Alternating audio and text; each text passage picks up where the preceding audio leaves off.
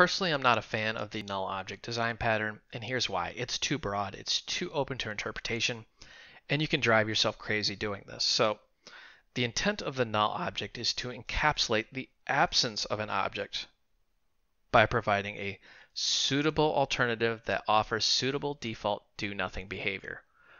What? That makes absolutely no sense. So if you have no object, you would have no behavior. But what they're saying with the null object pattern is have a behavior even if you don't have an object. Vastly open to interpretation, and you can see junior developers going crazy trying to figure out how to get around this pattern and how to make it work. So there are some general rules of thumb, but we're going to cover the Qt way of doing it. So when I say the Qt way, I have to kind of back up and say, I'm not really telling you the truth because this is so open to interpretation. You could do it millions of different ways. Qt, for example, in the QObject, right in the constructor uses this design pattern. If there's a parent, then Qt is going to assume the memory management. If there's no parent, then the default behavior is that either the stack or you are going to manage that memory. So if this were created as a pointer, we would not be responsible unless we set a parent. Okay, so there's one interpretation.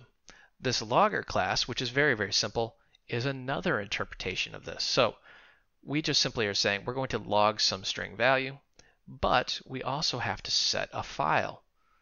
Of course, we're going to go ahead and check to see if that file even is in memory and if it's even writable.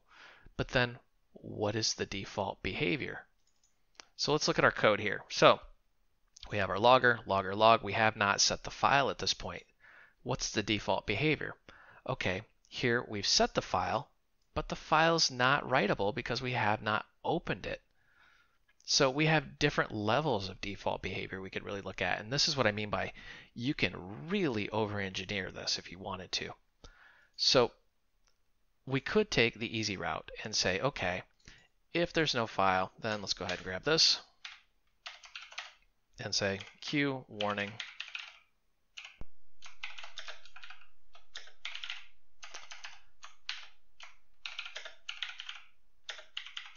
no file set.